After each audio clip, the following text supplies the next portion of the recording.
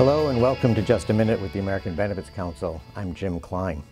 Well, it's an election year, so we have all seen a lot of polls being taken. And as we've done during past election cycles, we've decided to find out what's on voters' minds as it relates to benefit issues.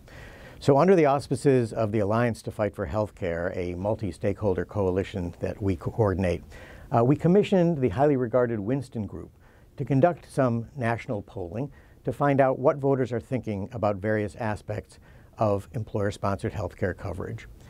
What they did find is that there are extraordinarily high levels of satisfaction among people who have employer-sponsored coverage. We also asked a question regarding how they feel about the practice of charging hospital outpatient fees when a service is provided in a physician's office and that doctor's office has been purchased by a hospital system. Not surprisingly, overwhelmingly, the voters said that they oppose that practice. Next year, Congress, regardless of the outcome of the election, will be tied up dealing with the expiring provisions of the 2017 tax law. That will put employee benefits in a pretty vulnerable spot.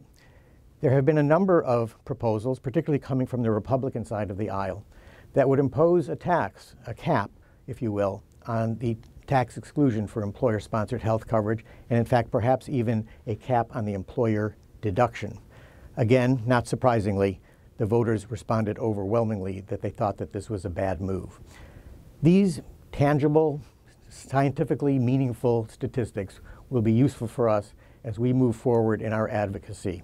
And of course, we'll be keeping you posted on how all that is moving along. Thank you for giving us just a minute today, and as always, thank you for the privilege of serving you here in Washington, D.C.